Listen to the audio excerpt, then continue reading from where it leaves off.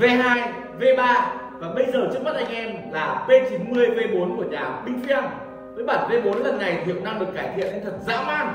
Đến ngay bản thân tôi khi mà test ấy cũng giật mình với những gì mà em P90 V4 này mang lại. Và cái đó thì tí nữa sẽ bật mí cho anh em tiếp.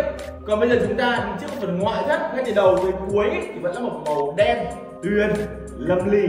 Và chất liệu của nó vẫn là full ni lông toàn bộ. Chỉ có riêng cái phần đầu này là cái ống dẫn ống dẫn bây giờ thì đã thành kim loại rồi.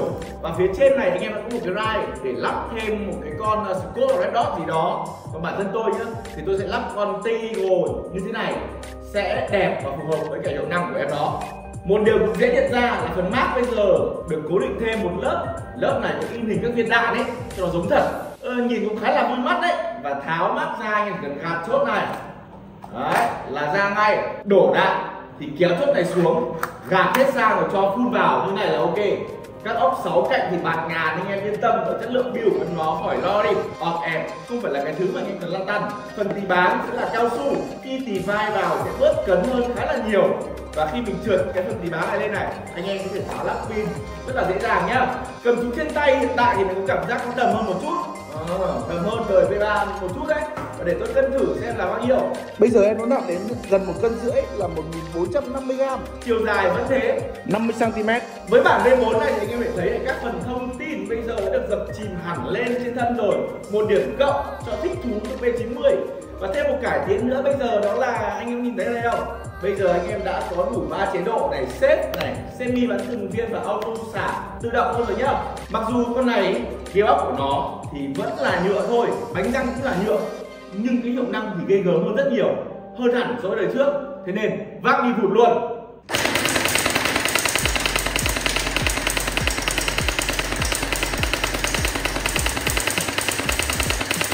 Và sau 78 lượt đạn thì anh em có thể thấy đây, uy lực trung bình của em nó là 77.5 m trên giây.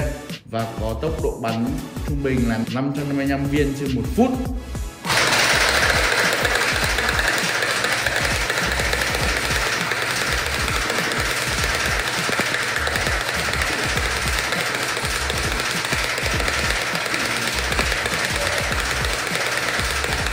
Với khoảng cách 4 mét, thì anh em có thể thấy là đường đạn cũng khá là tập trung tại tầng 10 và cùng quanh. Chỉ một vài viên và ra xa thôi.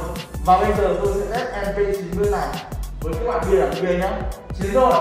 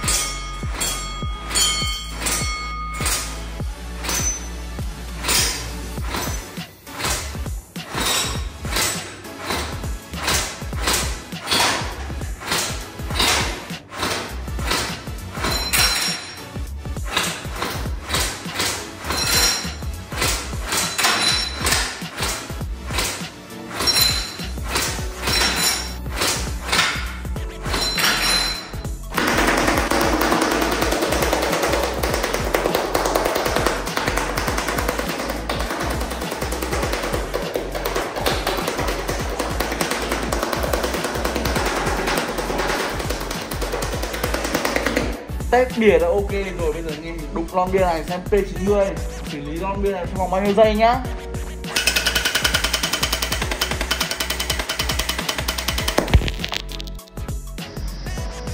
Trời, tuyệt vời. Đúng là sau một vài bài test thì anh em có thấy giống tôi không? Đó là con P90 V4 bây giờ nó dã man thật. Nó vượt xa cái sự mong đợi của tôi trước khi mang em nó về. Còn anh em anh em thấy thế nào thấy làm sao? Hãy góp vui cùng tôi ở phía bên dưới. Anh em mình thảo luận thêm, trò chuyện thêm nhá. Và vẫn như mọi khi, link không che của em nó sẽ xuất hiện ở trong phần mô tả và phần comment ở phía bên dưới. Còn bây giờ, xin chào và hẹn gặp lại anh em ở các bài review tiếp theo của Lô Team.